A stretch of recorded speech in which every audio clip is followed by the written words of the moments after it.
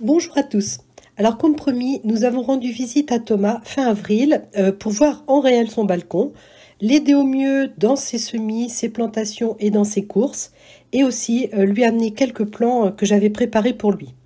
Donc découvrez cet après-midi bien rempli. du coup, qu'est-ce que vous m'avez ramené là? Parce que... Alors, alors qu'est-ce que je t'ai ramené? En fait, je t'ai ramené des fraisiers des quatre saisons.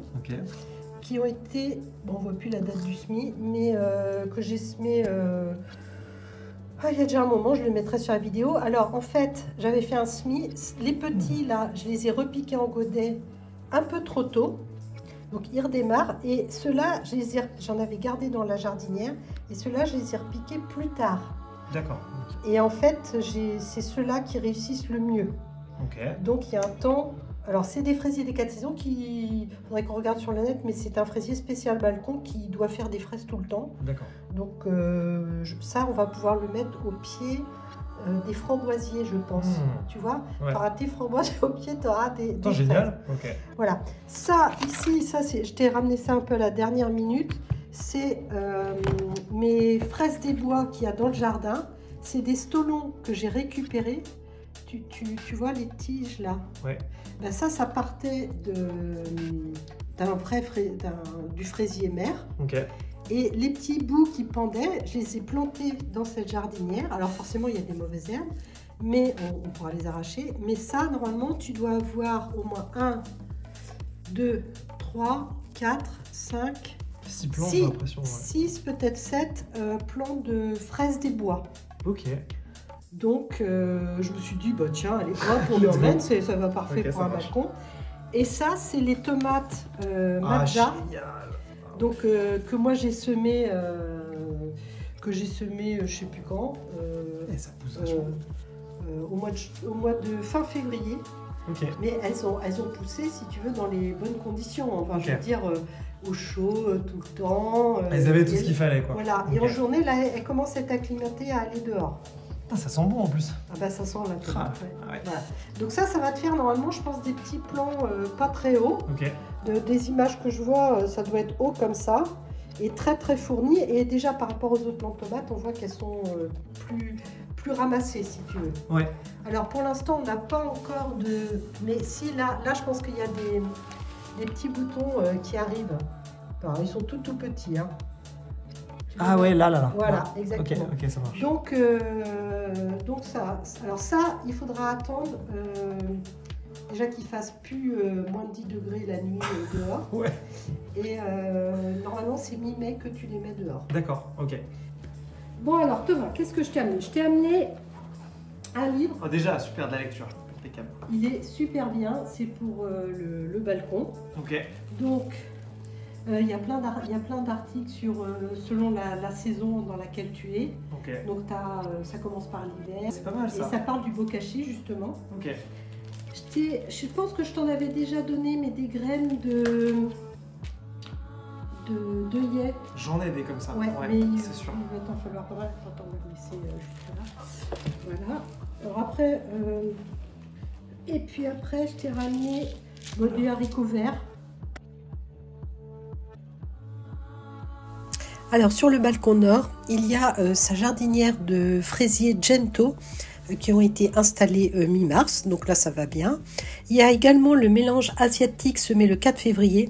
Bon malheureusement la roquette est montée en graines avant qu'il ait eu le temps de faire la moindre récolte. Alors qu'on voit que les autres variétés en sont encore à l'état de feuilles. Donc je suis pas tout à fait sûre que ce mélange soit vraiment une bonne idée. Ensuite, on arrive sur son semis du 4 février de salade douce en mélange. Donc là, c'est super. Il va pouvoir faire ses récoltes euh, dès maintenant. Je pense qu'il va pouvoir faire deux belles récoltes. Donc euh, là, c'est vraiment une réussite. Alors sur le balcon sud, euh, il y a les quatre pommes de terre plantées le 17 mars. Alors ce sont des belles de Fontenay qu'il pourra récolter fin juin, je pense. Ensuite, on a la jardinière avec son couvercle qu'il utilise comme une mini-serre. Donc mi-mars, on l'avait garni d'un petit peu de terre euh, pour isoler les semis du froid. Mais il y a plein de plantes mystérieuses qui ont germé dedans. Bon, sans doute, euh, les graines étaient contenues dans la terre qu'il avait dans son vieux pot en terre cuite et qu'il a sans doute mélangé euh, dans la jardinière. Alors à l'intérieur, il a son semis de Ricciololo, donc c'est une laitue à couper. Et il va devoir la planter dans la jardinière où il y a actuellement le mélange asiatique qui va être supprimé bien sûr. Et sur son bureau, situé à 1 ou 2 mètres de la fenêtre, il a encore d'autres semis en attente. Et sur le balcon nord, j'avais oublié de vous montrer les deux framboisiers qui sont chacun dans leur pot individuelle et qui se sont bien étoffés.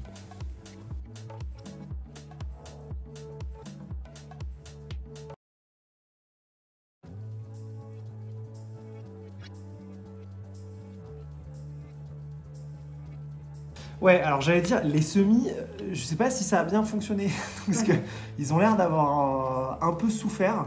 Là, ça a bien poussé, mais il y a un moment où ça s'est arrêté. Ici, ça a commencé, ça a super bien commencé quand je les ai re-rentrés à l'intérieur. Mais après, ça s'est restoppé net, et je sais pas euh, trop pourquoi. Alors, voilà. Alors, donc on va commencer par ça. Est-ce que tu te souviens, c'est quoi comme euh, ce que tu as euh, Je saurais pas trop dire. Celui-ci, je saurais pas trop dire. Donc c'est parce qu'il n'y a pas l'étiquette. Ouais, parce qu'il n'y a pas l'étiquette. Il faut qu'on achète des petites étiquettes. Ou des marqueurs des marqueurs, mais il faut, il faut faire quelque chose. Alors moi, je sais ce que c'est. Parce que déjà, un, on voit une graine là. Et puis en plus, alors les cotylédons, c'est les petites feuilles, euh, les premières feuilles. Mais celles qu'on voit juste après, est-ce que tu reconnais? Non, du tout. Bon, je vais pas la couper. C'est de la coriandre en fait. Ah, donc ça c'est la coriandre. Donc la coriandre. Donc la coriandre en fait, elle a filé, elle a manqué de lumière. Elle n'a pas manqué de chaleur. Ouais. Donc en fait, elle, a poussé assez haut pour attraper de la lumière. Ok. Donc euh, au niveau de le terreau est assez humide, donc faut pas le réhumidifier avant qu'il devienne euh, un peu sec. Donc euh, après, je, je, dirais je dirais pas qu'elle a souffert parce qu'elle est bien verte, tu vois, elle n'est pas jaune, mm. mais c'est juste qu'elle a manqué de lumière. Ok. Donc là, ta coriandre, là maintenant, tu peux la semer en extérieur. Ok. Euh, il faudra. Alors, t'aimes ça la coriandre? Ouais, moi je veux. Bon, donc euh, il faudra peut-être qu'on voit combien il te reste de graines. Parce que la coriandre, c'est bien d'en semer tous les deux mois, voire tous les mois. Ok. Parce que euh, quand tu vas la récolter, après, elle va monter en graines comme ça fait la roquette. Ça marche. Et donc, c'est bien de refaire des semis réguliers. Donc, elle n'est pas trop catastrophique. Mais là, il faut tout de suite qu'on la mette dehors. Ok, ok, d'accord. Voilà. Ça marche. Euh, et puis on va refaire un semis. Ok. Donc après, euh, les, tomates. Eh ben, les tomates, moi je dis qu'elles ont bonne allure. ah ouais, d'accord. Oui, oui, oui. Donc c'est juste que euh, là, tu as 1, 2, 3, 4, 5, celle-là, celle-là, c'est parce que la oui, oui, je suis d'accord. Alors après, il y a des hein. il y a des gens qui veulent garder absolument tous les, tous les, la moindre graine germée. Donc, euh, toi, comme tu n'as pas des masses de place, euh, tu as peut-être intérêt à garder que les meilleurs plants. Mais tu feras comme tu veux. Et ça, à la limite, on, pourrait le rempoter dans un. on va attendre un petit peu qu'elle ait fait euh, encore de. Mais on pourrait là, hein, la rempoter dans un pot jusque là. Ok. Alors, t'en fais un coup, même si ça Alors, je me suis rendu compte que quand je, quand je m'enregistre, en fait, je ne finis pas mes phrases. Et c'est un de mes objectifs, c'est de finir mes phrases. Et là, je l'ai fait, je me suis même pas rendu compte. Bah, moi, je me suis rendu compte. C'est horrible. On va rempoter, euh, puis hop, c'est terminé. Quoi, Merci, mon chéri. Donc, tu me fais juste un pic là. Et, je te fais un pic pour que tu finisses ta phrase. Ouais, ok. Bon. Et puis que tu laisses un petit peu. Euh, oui, voilà. Parce que l'autre objectif, c'est de te laisser parler. Ouais, ça pour l'instant. Eh, vas-y, vas-y. Vas c'est pas du tout euh, l'objectif. Oui, mais il m'a posé une question. Mais... après, c'est. On va y arriver, on va y, arriver. Bon, c'est Donc, elles sont bien tes tomates. Ok. Et donc, il euh, faut qu'on les rempote. Alors, après, c'est le nombre de godets. Il faut qu'on les rempote dans un godet. Ça marche. Vas-y, continue, Et donc, il faut qu'on ait des godets. Alors, ça, ça pourrait être un godet pour rempoter les tomates. Mais là, tu vois, on en a trois. Question. Oui. Est-ce que dans les, tous les semis doivent s'arrêter à une certaine hauteur ou est-ce que ça, ça, y a un moment où ça monte plus quoi? Parce que c'est ça que la question que je me posais aussi, je me disais, euh, ce que je me disais, ça fait quand même une semaine que c'est comme ça. Est-ce que c'est normal que ça reste comme ça Ou est-ce qu'il y a un moment où ça devait faire autre chose Alors, je peux pas te dire, toutes les plantes n'ont pas forcément la même hauteur. Mais globalement, plus elles montent, plus elles filent, c'est qu'elles manquent de lumière. Ok, ça c'est un facteur. Euh, voilà, donc la, lumière c'est primordial. Maintenant, tes tomates, là, elles sont à une hauteur normale pour un semi-normal. Elles ne sont Mhm. pas ratées, ils sont réussis. C'est juste qu'il va falloir les repiquer individuellement, chacune dans leur pot, jusqu'ici, uniquement pour les tomates. Parce que les tiges des tomates sont pleines de petits poils qui vont refaire des racines. d'accord. Je sais pas si tu les peux si, on vois. les voit pas très bien. Mais sur celle-ci, tu vas bien les voir, Ouais, les petits poils. Et d'ailleurs, tu vois que ici, j'ai rempoté, on va montrer à la caméra, j'ai rempoté jusqu'au cotylédon. D'accord. ok. Tu vois, et moi, au début, ma tige, elle était comme ça. Hmm. Donc, euh, donc voilà. Alors, du coup, qu'est-ce qui s'est passé avec ces trois-là Et ces bien alors, ceux-là, il n'y a rien qu'à germer. Bah, là, on voit quand même des trucs, mais c'est vrai que Non, non, ça. Alors, c'est difficile à dire parce qu'on n'a pas, on On sait pas ce qui est semé. Ouais, Euh, on n'a pas la date du semis. ouais, ok. Parce que chaque chose a une durée de levée qui est différente et aussi en fonction d'une température. C'est peut-être des semis de persil Il y a du persil, du basilic, ça c'est sûr. et, et après, ben, le persil est très très très long à lever. Ouais. Donc il y, a des- il y a un pot qui est sans doute normal que ça ne soit pas levé. Hmm. Le basilic, s'il- il, il doit germer bien au chaud et il germe en 5-6 jours. On pourra aller voir de l'autre côté, mais en fait, je pense que ce qui s'est passé, c'est que les semis, là, au tout début, donc là, ça, on va dire, ça fait quasiment 5 semaines que le truc pousse, que les trois, les trois poussent. Et pendant les deux premières semaines, elles étaient dans la serre. Et dans la serre, quand j'arrosais, je pense que c'est de la faute aussi de ma faute et de l'arrosoir, à mon avis, le jet était un peu trop puissant et il y a des graines qui sont parties de l'autre côté. Et c'est pour ça que dans la serre de l'autre côté, il y a beaucoup de pousses et qui sont pas, qui sont pas des tomates ni du, euh, ni de la coriandre, mais qui sont celles-ci en fait. Alors donc quelle serait la solution à ton avis Bah peut-être rapatrier celle de la serre par ici. Pas forcément. Pas forcément. Tu m'as parlé d'arrosage. Oui, ouais, ouais. Donc- Ah oui. Alors, si, si, la solution, j'ai déjà trouvé parce que quand j'ai rapatrié les plantes, donc au bout de trois semaines, et que je me suis aperçu que ça avait poussé dans la serre, j'ai arrêté d'arroser avec l'arrosoir et j'ai arrosé à la bouteille.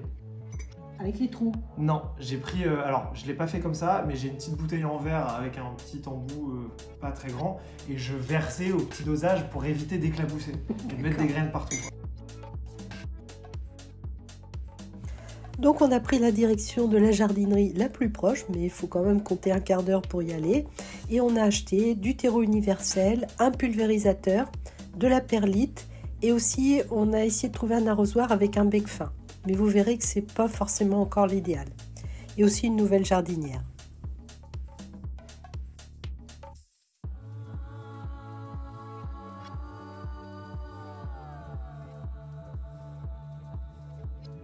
En observant euh, Thomas, je me rends compte que l'arrosage reste une étape quand même assez délicate.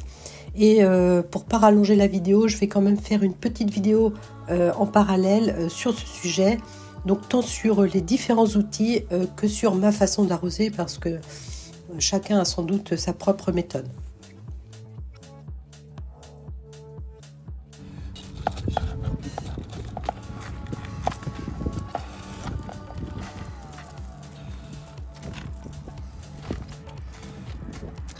J'ai ouais, j'ai peur de la C'est bien, c'est bien, c'est bien.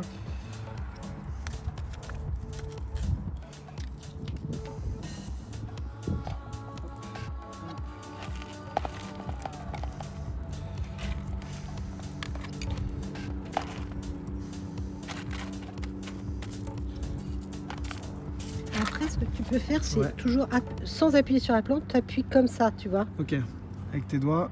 Voilà. Et là, voilà. Ça s'appelle borner un peu. Ok, donc là je peux le refaire aussi. Ouais. Ok. Et ok. Alors, déjà, dé- déterre là. Voilà, tu la poses euh, à côté. Là. Oh, Alors, tu essayes de ne pas tirer sur la tige. hein. Voilà, prends juste la motte de terre. Voilà, tu la poses là pour l'instant. Juste po- pose-la, pose-la, tranquille. Là, maintenant, tu te fais un grand trou au milieu.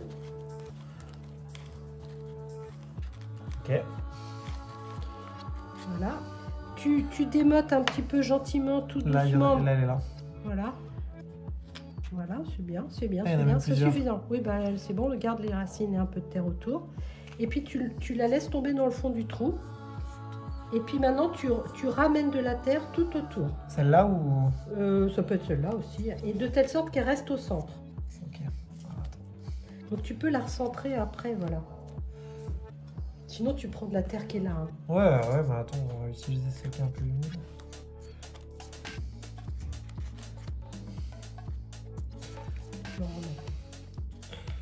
Voilà. Tu vois que c'est bien quand même d'être sur un plateau. Oui, c'est mieux. hein. Mieux que d'être par terre. Je trouve. Voilà. Ok. Donc celle-là, Là, on elle va est lui prête. mettre un tout petit peu d'eau histoire de.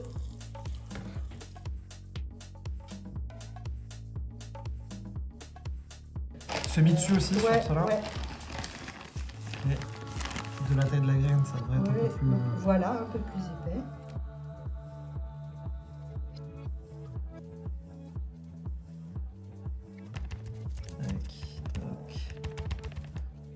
Impeccable. Voilà. Hop. Ensuite. Voilà, c'est bien. Et donc là, il nous manque la petite étiquette. C'était la Coriandre. coriandre. Ça, c'est pour être sûr que tes radis, tu n'auras pas les éclaircir qui seront à la bonne. Voilà, putain, j'ai un peu abusé sur celui-là. Ok. Ok. En fait, c'est pour voir le truc, sinon tu le vois pas, en fait, le trou. Mais on va, on va faire tomber les graines dedans. Et euh, si c'est trop profond, elle va avoir du mal à. J'ai peut-être ouais, un peu abusé. On va, on va essayer de se débrouiller. Ok. Donc, donc là, voilà, on va se laisser radis là. Attention, c'est des grosses graines. hein. Ah oui.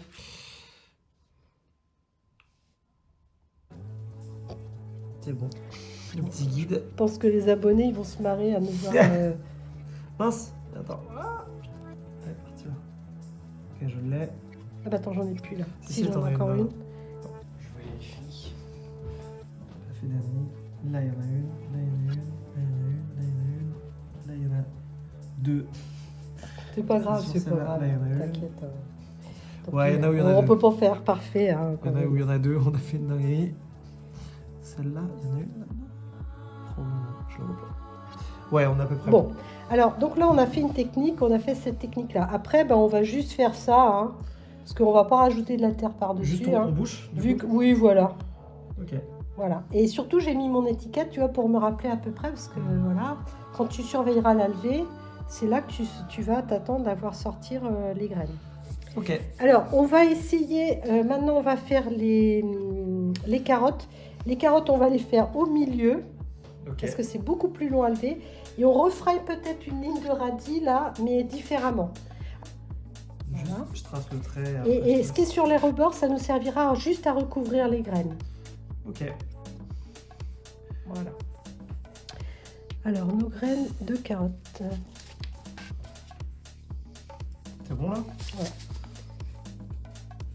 Alors, là, voilà, nos carottes maltaises qui vont jusque fin 2025.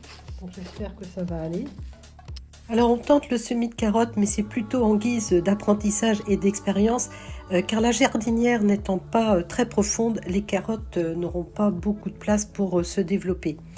Euh, par contre, bon, bah, le semis de radis, euh, ça fait que les radis pourront être euh, consommés dans un mois et demi à deux mois, au moment où les vraies feuilles des carottes seront tout juste en formation. Et à côté, on a refait un semis de radis, mais plutôt en ligne et de façon assez classique. Et du coup, ce sera intéressant de voir la différence au moment de la levée.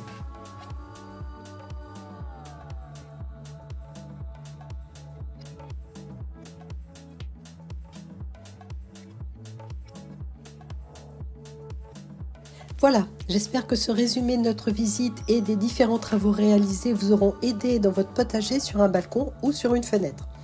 Je vous souhaite à tous le plus de réussite possible et des récoltes savoureuses pour les prochains mois. En attendant, je vous souhaite une bonne fin de journée et je vous dis à bientôt